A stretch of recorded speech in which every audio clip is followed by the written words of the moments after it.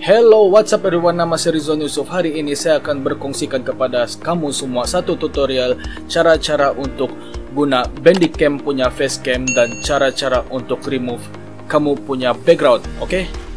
Alright, benda yang pertama ialah kamu kena download dulu Bandicam, okay? On saya punya previous video saya dah terangkan macam mana cara untuk guna Bandicam dan ada download link di sana.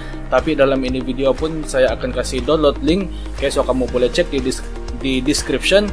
Okay, so first kamu buka Bandicam, and then ada few tabs di sini. Ini screen recording mode dan ini game recording mode. Kamu boleh gunalah mana-mana saja sebab ini tutorial mengenai facecam. Alright, so saya akan tunjuk di sini cara saya guna facecam um, dalam Bandicam untuk diletakkan dalam saya punya gameplay.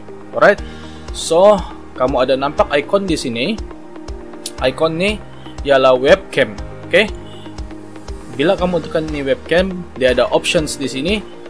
And yang ini saya recommend kamu untuk follow sejak saya punya setting. Okay, macam ini add webcam overlay to video. Okay, dan kamu tick ini. Dan yang webcam ni kamu boleh pilih lah saya uh, saya buat ni video menggunakan laptop so saya guna uh, laptop punya webcam so yang ini VGA webcam okay dan ini uh, kamu ikut sajalah ikut saya punya setting dan yang ini chroma key nanti saya akan terangkan macam mana okay kita pergi advance alright dan di sini di belakang saya ni ialah green screen okay untuk remove kamu punya background, kamu kena ada green screen. Green screen ni macam mana? Dia macam ni. Kalau kamu tekan chroma key, use chroma key dia akan jadi macam ni. Alright? Dia akan jadi hilang. So kamu kena um, cari alternatif lah untuk beli satu green screen di Shopee pun ada. Nanti saya akan share jugalah uh, link yang saya beli dari Shopee.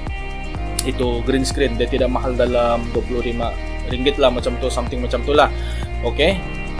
Dan um, color ni kamu kena pilih lah kamu kena pilih color hijau okay, supaya dia sama rata dan similarity ni kamu boleh drag down dan and drag up dia okay, dia kalau dia macam ni dia masih hijau kalau dia pergi sebelah kiri and kalau dia pergi sebelah kanan dia akan pelan-pelan kasih hilang itu kamu punya background okay.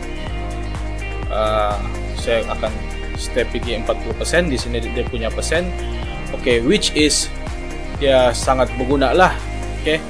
untuk kamu record kamu punya gameplay dan ada kamera lah okay? Okay.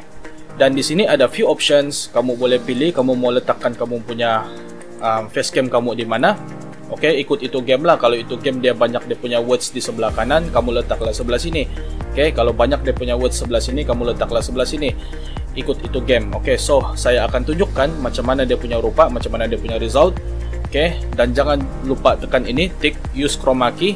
Okey. Okey, saya akan letakkan di sini dan saya akan tekan OK. Alright. Okey, kamu nampak dia ada di sini dan jangan lupa ikut saya punya setting ni semua dan tekan OK. Alright. Tekan game recording mode dan kamu boleh pilih mana-mana game yang kamu suka. Okey, so hari ini saya akan tunjukkan game The Elder Scroll 5 Skyrim. Okey, saya sudah buka di sini tengok dulu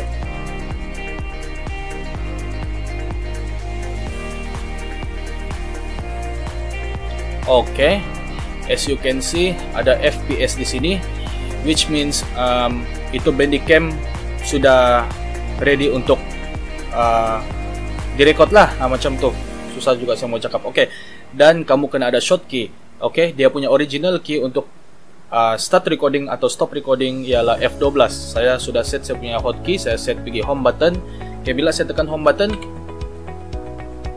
alright dia akan jadi macam ni ok so kamu boleh play lah sekarang dia tengah recording and kamu boleh play kamu punya game macam biasa ok macam tu apa semua and then bila kamu mau stop recording tekan stop recording macam tu Alright.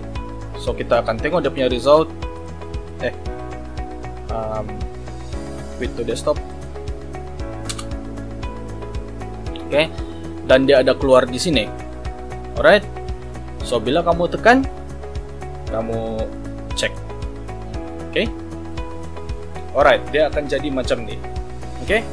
So, kamu boleh play lah. Sekarang dia tengah recording. And kamu boleh play kamu punya game macam biasa. Okay? Macam tu apa semua. And then, bila kamu mau stop recording, tekan stop record. Okay. Itu salah satu contoh untuk menggunakan webcam atau facecam. Okay? Menggunakan Bandicam. Alright? So jangan lupa untuk kamu guna facecam, kamu kena ada green screen kalau kamu perlu lah. Kalau betul-betul kamu perlu, kamu mau tutup kamu punya background, kamu ada green, kamu perlu beli green screen dan kamu kena cari recording software. Okay? Dan yang paling basic punya recording software, yang paling simple, dia punya UI, dia punya user interface pun sangat simple, kamu senang mau faham, ialah Bandicam. Okay? Untuk kamu start up kamu punya um, gaming channel contohnya. Alright? So sampai di sini saja kita punya tutorial untuk hari ini. Saya harap ini tutorial membantu kamu dan bermanfaat buat kamu semua. Oke. Okay. Dan jangan terlepas dari mana-mana saya punya video tutorial, pastikan kamu tekan button subscribe dan tekan bell notification notification supaya kamu tidak miss mana-mana video yang saya upload. Dan jangan juga lupa like dan share saya punya video. Oke. Okay? Reach mind success together. See you again Okay, kita akan berjumpa lagi on our next video. Bye-bye and take care.